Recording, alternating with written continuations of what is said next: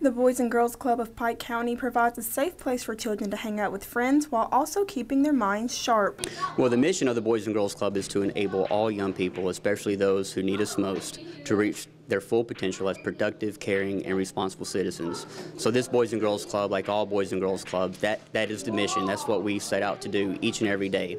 And right now we're in the middle of our summer program. So what that means when parents are having to go and, and work all day, we are open to serve the, the children for those who have completed kindergarten all the way through high school age from 7.30 in the morning to 5.30 in the afternoon and throughout the day we have programs and activities that fall right in line with what our mission states and what we want the outcome uh, the impact that we want for our children that we serve is that we want them to be productive members in, in society and that's what we're striving for every day one member shares her favorite part about the Boys and Girls Club.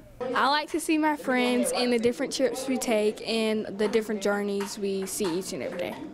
And for anyone interested in becoming a member of the Boys and Girls Club? Well, uh, there's actually no application fee. There's just a $10 monthly fee there just for our services as far as you know keeping snack around and and, and, things of that sort. But um, you would have just come up here, talk to Mr. Buchanan or one of the staff, and um, get one of the uh, application forms, and it's about three to four pages. Fill it out, and I'll return it, and the process is pretty quick. So.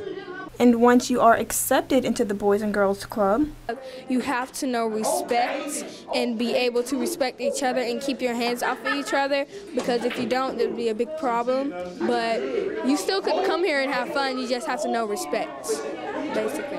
Jordyn Elston, Troy, TrojanVision News.